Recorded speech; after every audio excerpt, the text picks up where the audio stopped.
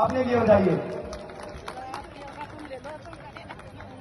शीतल जी और हमारे दर्शक साहब उनकी पूरी टीम सभी का बहुत बहुत धन्यवाद और सभी का बहुत बहुत स्वागत।